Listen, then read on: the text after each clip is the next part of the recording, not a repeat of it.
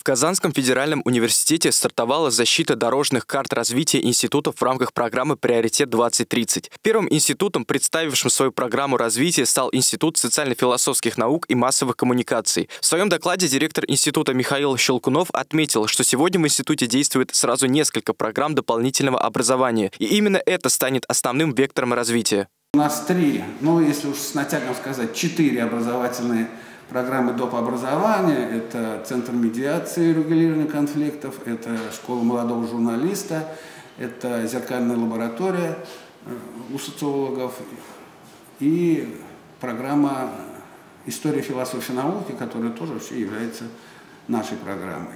Цель программы «Приоритет 2030» к 2030 году сформировать в России более 100 прогрессивных современных университетов, центров научно-технологического и социально-экономического развития страны.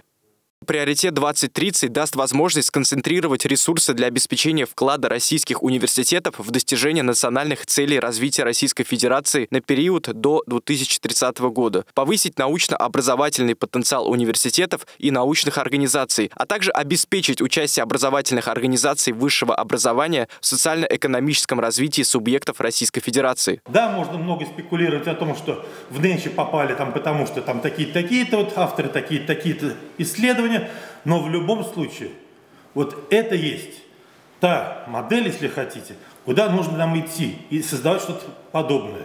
В программу вошли 106 университетов и 49 городов России. Они получат базовую часть грантов в размере 100 миллионов рублей. Отбор программу осуществила комиссия Министерства науки и высшего образования Российской Федерации. По итогам очередного этапа защиты КФУ занял первое место в первой группе по треку «Территориальное или отраслевое лидерство». Таким образом, суммарный объем финансирования составил более 1 миллиарда рублей. Это есть вот пример того качественного скачка, вот того проекта, который мог бы быть таким флагманом.